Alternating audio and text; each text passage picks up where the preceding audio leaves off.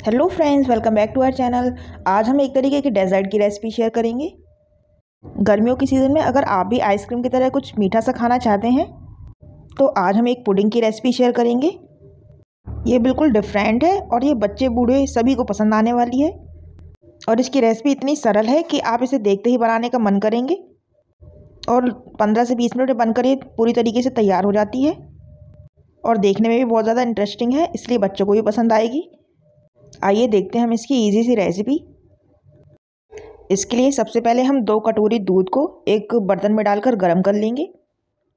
इस रेसिपी में हमें चाशनी की भी ज़रूरत पड़ेगी। मेरे पास पहले से बनी हुई रखी है। अगर आपके पास ना रखी हो तो आप आधी कटोरी पानी में आधी कटोरी शक्कर ऐड करके उसे दो मिनट के लिए बॉईल कर लें। दो कटोरी दूध में से हमने थोड़ा सा दूध बचा लिया था। उसमें हम दो बड़ी चम्मच कस्टर्ड पाउडर ऐड करेंगे और इसे अच्छे से मिक्स कर लेंगे। एक चम्मच या विस्कर से। और दूध को भी हम हाई फ्लेम पर उबाल रहे हैं और जैसे ही दूध में उबाल आ जाएगा, तब हम इसमें चार बड़ी चम्मच शक्कर ऐड करेंगे। या शक्कर आप स्वाद अनुसार भी ऐड कर सकते हैं।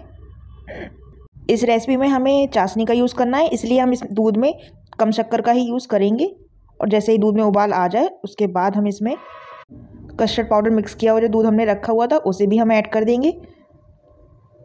याद रखें, इस टाइम पे हमें गैस की फ्लेम मीडियम रखनी है और इसे लगातार चलाते हुए मिक्स कर लेना है। और मीडियम फ्लेम करते हुए हमें इसे दो मिनट के लिए कुक कर लेना है।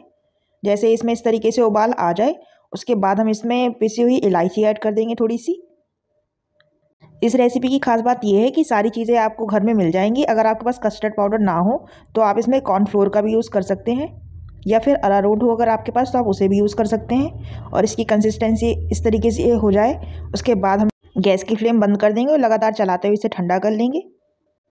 अब हम एक बर्तन ले रहे हैं, उसमें हम इस तरीके से टोस्ट रख देंगे। इस रेसिपी में टोस्ट सबसे ज़्यादा ज़रूरी है और उसके बाद हम इसमें चाशनी ऐड कर देंगे। अगर आपके पास गुलाब जामुन की बची हुई चाशनी रखी हो तो आप उसे भी ऐड कर सकते हैं। और अगर नहीं रखी है तो आप ये चाशनी ज़रूर बना लें।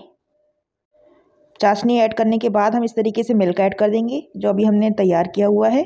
और थोड़े थोड़े से ड्राई फ्रूट इसके ऊपर से हम स्प्रिंकल कर देंगे।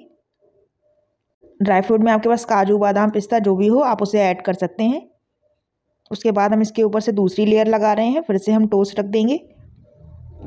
इसे आप कम से कम दो लेयर में ज़रूर बनाएँ और इसे हम तोड़ तोड़ के भी यूज़ कर सकते हैं।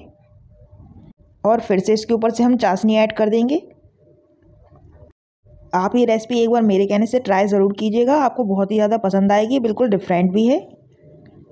और दोबारा से हमने सेम प्रोसेस किया, अब दोबारा से हम सेम प्रोसेस करेंगे और सबसे लास्ट में इसके ऊपर से ड्राई फ्रूट ऐड कर देंगे। और थोड़ी सी केसर के धागे भी स्प्रिंकल कर देंगे, इससे बहुत अच्छा फ्लेवर आएगा।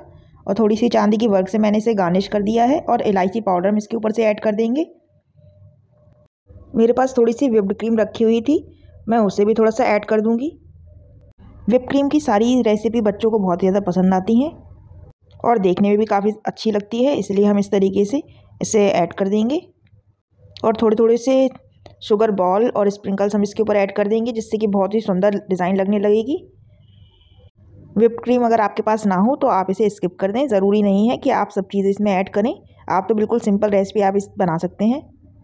सबसे मेन इसके लिए चाहिए हमें टोस्ट, चाशनी और दूध। उसमें हमें कॉर्नफ्लोर चाहिए। बस ये चार चीज़ों से भी आप इसे बनाकर तैयार कर सकते हैं। अगर हो सके तो थोड़े से ड्राई फ्रूट आप इसमें ऐड कर दें। बस बाकी चीज़ें तो आप अगर चाहें तो ऐड करें, वरना आप इसे स्किप कर दें। वीडियो पसंद आए तो लाइक, शेयर एंड सब्सक्राइब करें। और याद रखें, जब इसे हम सर्व करेंगे तो हमें इसे ठंडा कर लेना है लगभग दो घंटे के लिए फ्रिज में रख कर वीडियो देखने के लिए आप सभी का बहुत बहुत धन्यवाद।